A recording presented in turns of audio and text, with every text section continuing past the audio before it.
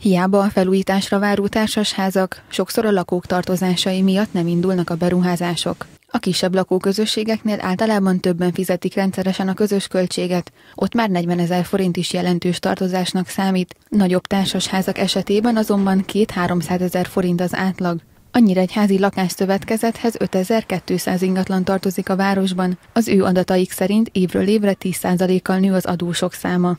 Csak a szövetkezetre olyan 100 millió forint körüli nagyságrend, ami ha mondjuk rendelkezésre álló pénz lenne, egy csomó épületfelújítást, egyéb a általunk képviselt lakosságnak hasznos dolgot meg tudnánk csinálni, akár a lakókörnyezetben, akár a lakóépületeken, hiszen az is köztudomású, hogy 2009 óta az önkormányzat és az állami támogatása is megszűnt a többszintes lakóépület felújításnak, így sokkal több saját erő kéne ahhoz, hogy, hogy például egy energiatakarékos felújításba egy épület tisztán saját erőből bele tudjon vágni.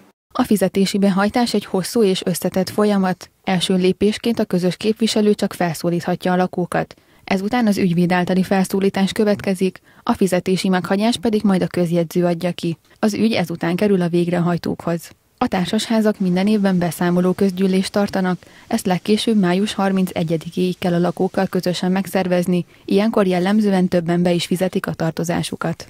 Minden lakónak van egy úgynevezett eh, közös költség egyenlege, kimennek az egyenleg értesítők, ezen a lakók látják, hogy mennyivel tartoznak. Mindenki ilyenkor kicsit összekapja magát és teljesít állampolgári kötelességeit, befizeti általában a tartozásainak a nagy részét.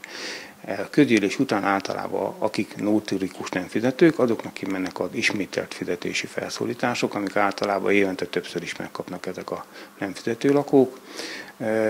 Sajnos megint utána elfelejtkezik egy kicsit a közgyűlések után a kötelesség, hogy így mondjam, a fizetési kötelezettség. Az előző évek tapasztalatai alapján az is kiderül, nyáron sokan inkább nyaralásra és pihenésre költenek, ezért nem fizetnek közös költséget, szeptemberben pedig az iskola kezdés miatt csúsznak a fizetéssel. Így a következő nagy befizetési hullám általában novemberben van, főleg az idősebb korosztály az, aki nem kezdi tartozással az új évet.